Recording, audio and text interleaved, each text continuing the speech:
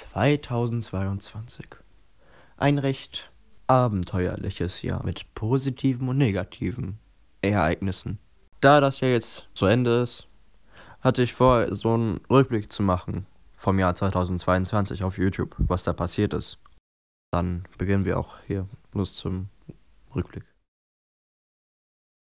2022 Januar, Februar, März, April, Mai, Juni ist nichts passiert. Außer dieser kleine Stream da. Aber sonst ist nichts passiert. Gar nichts. Null. Aber doch dann passierte das Unglaubliche. Ich hab Shorts hochgeladen. Einfach so. Und diese habe ich nicht monatlich hochgeladen, sondern täglich sogar. Teilweise mehr als täglich.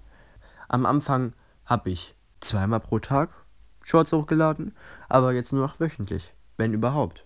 Und somit kommen wir auf eine Zahl von 36 Shorts und diese haben knapp 81.000 Aufrufe. Aber was ist noch das Jahr passiert? Wir haben gestreamt. Wieder mal. Wir haben insgesamt elfmal gestreamt mit insgesamt 1200 Aufrufen. Das ist eine kranke Zahl, Mann. Das ist krass. Aber wir haben nicht nur Shorts hochgeladen und gestreamt, sondern wir haben auch noch Videos hochgeladen. Insgesamt vier Videos haben wir hochgeladen mit insgesamt 150 Aufrufen. So, jetzt haben wir aber genug gequatscht.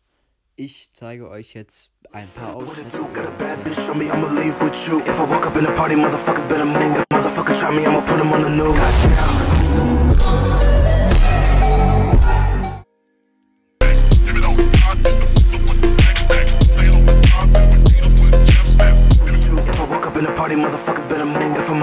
Me, I'ma put him on the news. I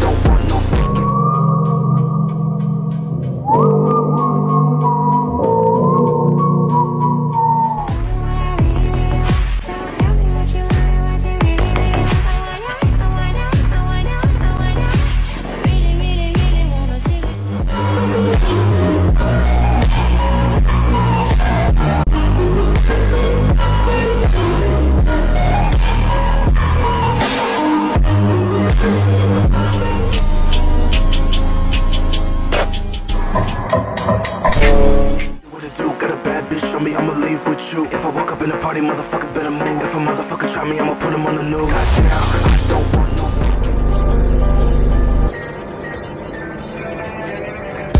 Streckenanalyse halt machen, weil am Sonntag ist der Grand Prix von Sao Paulo in Brasilien, heute sogar das Qualifying.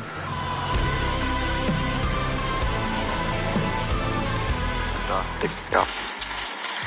Mein Gott, man kann nicht einen schlechteren, schlechteren Video starten, aber